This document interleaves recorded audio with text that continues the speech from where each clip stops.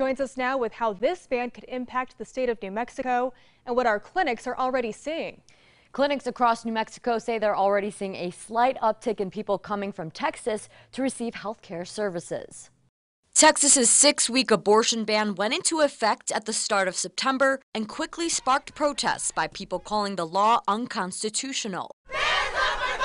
Meanwhile, Chelsey Youman with the anti-abortion group Human Coalition Action says the law is a peaceful constitutional law that involves civil lawsuit. They found a way to to enforce the laws. If the government officials refuse to, um, it can be done in the hands of private citizens. The controversial law states anybody helping a woman get an abortion in Texas past that six-week time frame could be sued. But the Planned Parenthood of the Rocky Mountains chief experience officer says she believes clinics in New Mexico are not liable and are already seeing a slight increase in the number of patients coming from Texas. So in this case, it's the location of the patient being in Texas.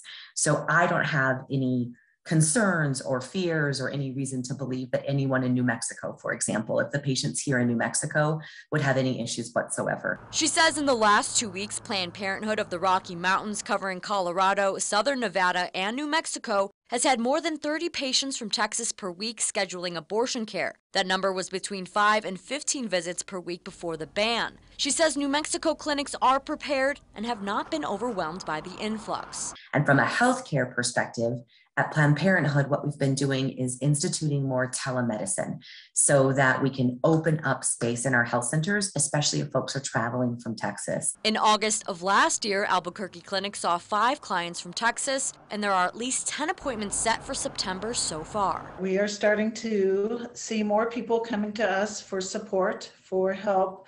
Um, getting a place to stay while they're here, getting uh, rides to and from their appointments, helping with help with uh, meal support while they're here.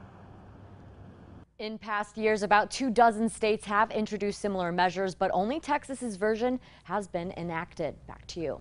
Okay, Ariana. On Thursday, the Justice Department announced it's suing the state of Texas over the new law, arguing that it was enacted in open defiance of the Constitution.